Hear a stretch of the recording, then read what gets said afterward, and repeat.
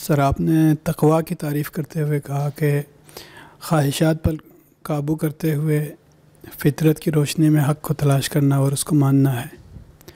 तो फ़िरक़ों की असबियत और हमीयत भी इंसानी फ़ितरत के अंदर ही होती है कि वो जिस फ़िरके से उसका ताल्लुक़ है, उसके नज़रियात के साथ वो मोहब्बत करता है, उसको अपनाता है। तो इसको कैसे छोड़ दिया जाए अगर ये तकवा के ख़िलाफ़ है तो? बहुत अच्छी बात है। फ़ितरत की कुछ चीज़ें जब हदूद से तजावज़ कर जाती हैं तो वो ख्वाहिशात नफ्स बन जाती हैं। मसलन ये भी हमारी फ़ितरत है कि मियाँ बीवी का ताल्लुक़ कायम हो। इसका एक दायरा जायज़ है, एक नाजायज़।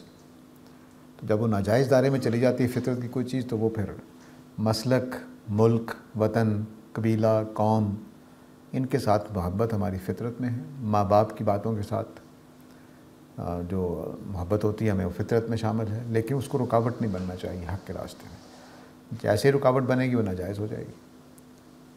तो इसको फिर वो ख्वाहिशात ख्वाहिश नफ्स की इसी सूरत इख्तियार कर लेती है। तो माल फ़ैना अलही आबाना, मेरे लिए एक लिहाज से देखें तो मैं इस्लाम भी तो इस तरह से हासिल किया।